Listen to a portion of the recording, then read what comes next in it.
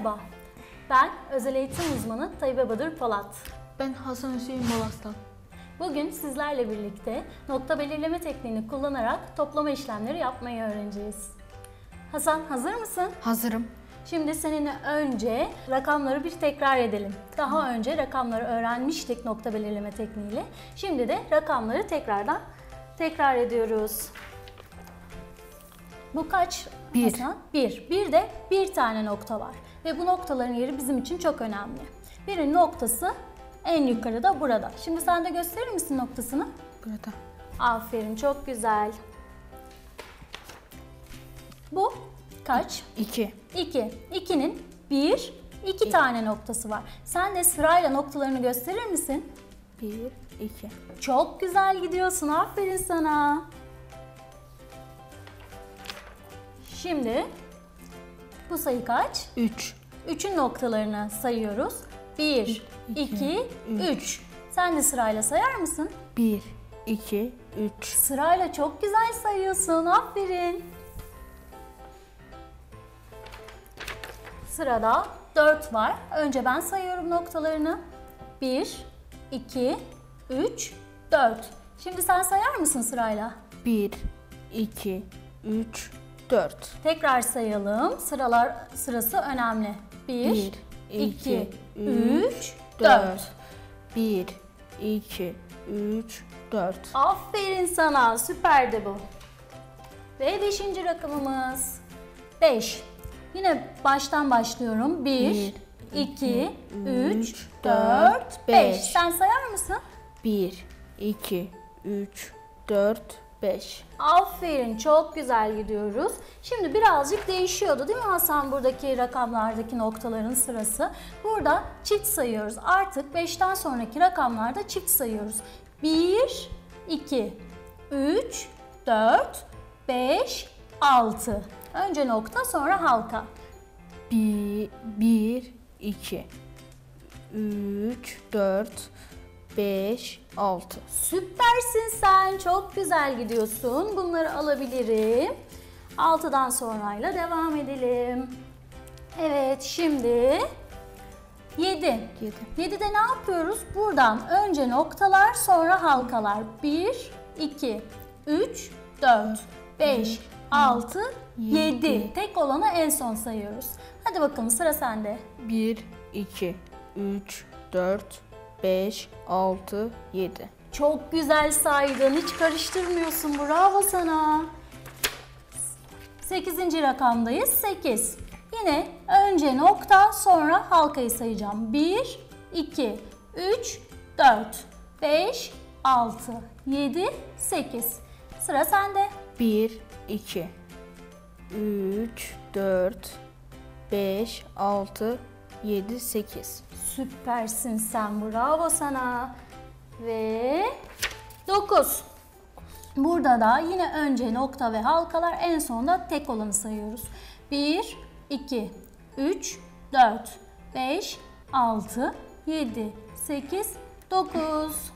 1, 2, 3, 4, 5, 6, 7, 8, 9. Süpersin ve sonuncu rakamımız 0. Bunda hiç nokta var mı? Yok. Yok, sıfırda hiç nokta yok. 5'e kadar tek noktalar var. 5'ten sonra ne var? Daireler, Daireler. halkalar ve daireler var. Sırayla bunları sayıyoruz. Çok güzel saydın benimle. Rakamlarımızı tekrardan hatırladık. Artık işlemimize geçebiliriz. Toplama ne demek biliyor musun? Bilmiyorum. Toplama nesneleri, sayıları bir araya getirme işlemi demek. Nesneler, sayılar bir araya geldiği zaman nesnelerin sayısı artıyor, rakamların sayısı çoğalıyor. O yüzden biz toplama işlemi yaparken hep ileriye doğru sayıyoruz. Sen ileriye doğru sayabiliyorsun değil mi? Evet. Bana sayabilir misin ona kadar ileriye? 1, 2, 3, 4, 5, 6, 7, 8, 9, 10. Çok güzel. Aferin sana. Şimdi toplama işlemi yaparken bazı işaretleri bilmemiz lazım. Sana o işaretleri göstereceğim. Bu artı işareti. Ne işareti bu? Artı. Bu artı işaretini gördüğümüz zaman toplama işlemi yapmamız gerekiyor. Bu Çıka- eşittir işareti. İki tane çizgi olduğu zaman eşittir işareti. Eşit. Ne işareti? Eşitler işareti. Evet eşittir işareti. Eşittir'i gördüğümüz zaman topladığımız sayıların sonucunu bu eşittirin yanına yazmamız gerekiyor. Yan yana koyuyorsak sayıları eşittir kullanıyoruz. Peki alt alta yazıyorsak bir işaretimiz daha var. O zaman neyi kullanıyoruz? Bu toplama çizgisi. Toplama çizgisi. Evet, toplama çizgisinin altına yazmamız gerekiyor. Sayıları alt alta yazdığımız zaman sonucu nereye yazıyoruz? Altı. Alta yazıyoruz. Çok güzel gidiyorsun. Şimdi toplama işlemi yapmaya hazır mısın? Hazırım. Bu ilk işlemi ben yapıyorum. Beni dikkatli izlemeni istiyorum. Bak, iki rakama da noktaları önceden koydum. Noktalar nasıldı? 1, 2, 3, 4. Çok güzel. Bu nasıldı? Bir, iki, üç. 3. Hangi işlemi yapıyorum? Toplama. Toplam. Ve sonucu da nereye yazacağım? İşlem çizgisinin altına yazacağım. altına. Şimdi toplama işlemi ne demekti? İleriye doğru sayma. 1, 2, İki, 3, 4, 5, 6, 7. 7'yi nereye yazıyorum? İşlem çizgisinin altına. Sonuç kaçmış? Yedi. Yani 4 artı 3 kaç etti? Yedi. Çok güzel. Şimdi bunu birlikte yapıyoruz. İlk sayımız kaç? Bir, İkinci sayımız beş. hangi işlemi yapıyoruz? Toplama. Peki toplamada nasıl sayıyorduk? Bir, iki, üç, dört, beş, altı. Çok güzel aferin sana. Nereye yazacağız peki sonucu? Altı. Çizginin altına yazıyoruz. Bravo Hasan. Çok güzel çalışıyorsun. Şimdi bir tane daha birlikte yapalım. Sayıları söyler misin bana? Be, be, dört, 4. dört. Hangi işlemi yapıyoruz? Toplama. Toplama. Hadi saymaya başlayalım üstüne doğru. Bir, iki, üç, dört, beş, altı, yedi, sekiz. Aferin sana. Sonucu nereye yazıyoruz? Altı. Bravo sana. Sayıları söyleyelim. Dört, dört. Daha 8 eder. Süpersin. Bunları birlikte yaptık. Şimdi bu işlemi kendin yapmanı istiyorum. Üç, iki, bir, iki, üç, dört, beş. Aferin sana. Çok güzel yazdın bana. Alt alta topladın. Sonucu buraya yazdın. Bravo sana. Çok güzel çalışıyorsun benimle.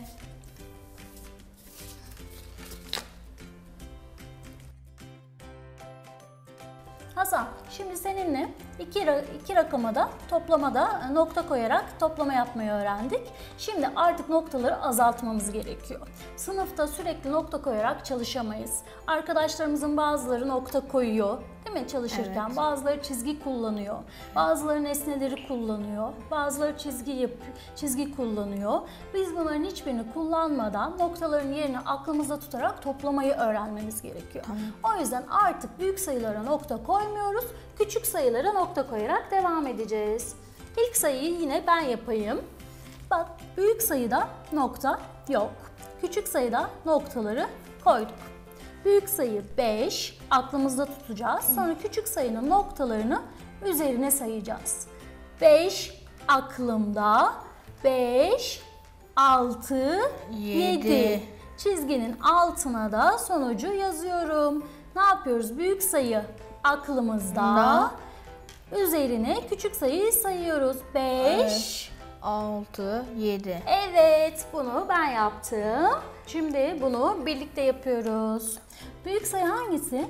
Sekiz, Küçük sayı hangisi? bir, Evet, artık büyük sayıya nokta koymuyoruz. Küçük sayıyla devam edeceğiz nokta koymaya. Hangi işlemi yapıyoruz? toplama. Toplama işlemi yapıyoruz. Büyük sayı Aklında. aklında, küçük sayının noktalarını sayacağız. 8, Dokuz, 9.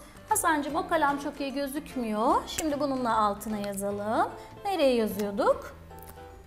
altına. Evet, çizginin altına. Çok güzel. Şimdi bir tane daha geliyor. Sayılara bakar mısın? 3, 3. Bu sayıların hangisi büyük? Bu. Büyük sayı yok. İkisi de eşit. Eşit olduğunda istediğimize koyabiliriz. Tamam mı? Ben alttakine koydum noktaları hazırladım. Şimdi 3 aklımda. 3'ün noktalarını üzerine sayacağım. 3 4, 5, 6. Süpersin. Çizginin altına yazıyoruz. Evet, çok güzel yazdın. Bu da son işlemimiz. Buna ben hiç karışmıyorum. Sen bana yüksek sesle yapıyorsun, ben de duyuyorum. Tamam. 2, küçük, 4, büyük, 4 kafamda, 2 elimde, 5, 6. Aferin sana süpersin. Çok güzel yazdın sen. Dördü aklında tuttun. 2 üzerine saydın ve 6. Çok güzel oldu. Şimdi bunları da alabiliriz. Kalemi de alabilirim. Hasan'cığım seninle toplamada önce iki e, rakama da noktaları koyduk. Sonra sadece küçük rakama noktaları koyduk. Artık noktaları kullanmadan toplama yapacağız. Sen noktaları, çizgileri kullanmadan çok güzel toplama yapabilirsin. Şimdi sana bunu anlatacağım. Şimdi rakamlara bakalım. 7 ve 2 var. Toplama işlemi yapacağım. Hangisi büyük? 7. Yedi. 7'yi aklımda tutuyorum ve 2'nin nokta yerlerini sayarak toplama yapıyorum. 7 aklımda, 8, 9 Dokuz. ve toplama çizgisinin altına 9'u yazıyorum. Şimdi bunu birlikte yapabiliriz. Rakamlara bak. Hangisi büyük? 5, 5 aklında. Yine 4'ün noktalarını üzerine sayacaksın. 6, 7, 8, 9. Evet, nereye yazıyoruz? 6. Çok güzel yaptın. Aferin sana. Sen bu işi çok çabuk öğrendin. Şimdi bir tane daha geliyor. Burada da ne? Yine sayılar eşit. Büyük sayı yok. İstediğini aklında tutabilirsin, istediğini üzerine sayabilirsin. 2 aklım, aklımda tutayım. 2 elimde olsun. 3, 4. Evet 3, 4 çok güzel çizgiye yaptın. Bravo sana ve bu son işlemimiz. 3 küçük, 5 büyük. 3 kafamda. 3 elimde. 6, Evet 7, 8. süpersin. Evet çok güzel yaptın. Bravo sana. 5'i aklında tuttun. 3'ü üzerine saydın ve 8'i altına yazdın. Bravo sana Hasan.